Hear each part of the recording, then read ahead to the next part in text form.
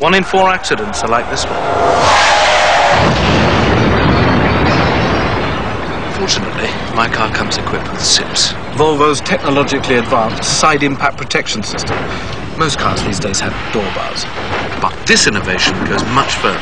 The energy of the crash is dispersed through special roof, door, and floor pillars, and the speed of the intrusion is actually reduced. Now, here's the clever bit. This unit is collapsing, so my seat can move away from the van and create a survival space. Volvo. A car you can believe in.